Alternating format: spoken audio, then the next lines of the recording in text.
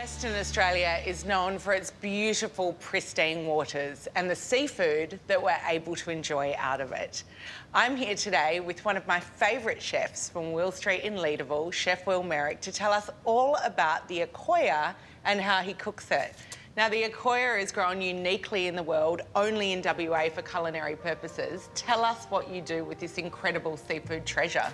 Well, it's a new thing for me, so it was great when I arrived back here to Perth to be able to use it and be able to put it on the menu. Tell us a bit about the dish that we're making. It's a buttermilk dressing with the chardonnay and some garlic in there. We've also got a coriander oil and that's it. It's super Perfect. simple. All right. And with a little bit of spice of chili in there as well. So you take them from the top, and again, you can use a butter knife at home, which is really easy. Flip them open.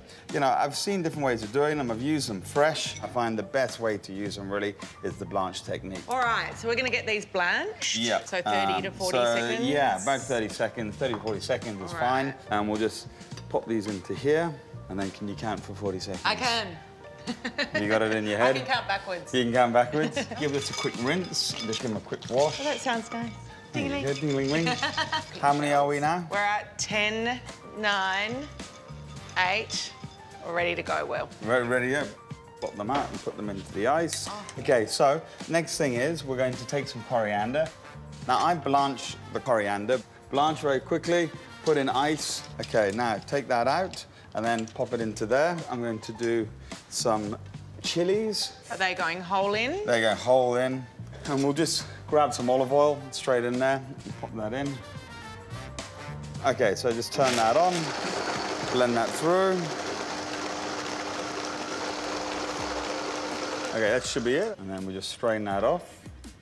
You, you really want this green to come out of it. Next step is the buttermilk dressing. I do with Chardonnay vinegar. Okay. So we'll go one vegan um, mayonnaise that we're using, so no eggs or anything in here. And then we'll go three buttermilk. One, two, three. How does this apply to a garlic knob? no, the garlic, just do one. yeah. So it's a one-to-one. It's a one-to-one on that one. And then we'll add in one of the Chardonnay vinegar.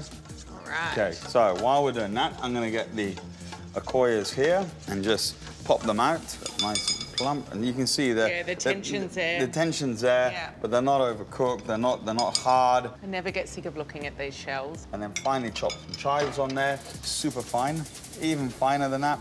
Finer, finer, finer, I'm finer. gonna get a job at the end of this. Exactly, even finer, finer. So a little trick Yes. is basically get your knuckles and you got to rub the knife down your knuckles. And then there we go. I'm lucky I don't have to type on the computer glad you're too doing much. this bit. Okay, so do you want to maybe put a little bit of the uh, buttermilk on each of the um, Akoya? Use the finer little chives on there and sprinkle that on. And then I'm going to take some of this oil, I would say. Beautiful. Here are the Akoyas with buttermilk and coriander uh, dressing and a little bit of chives. Right, let's have a try of these.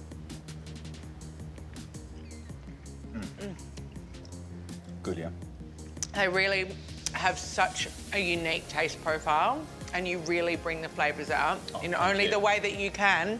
And you're serving these at Will Street now? Yep, we On are the menu? on the menu.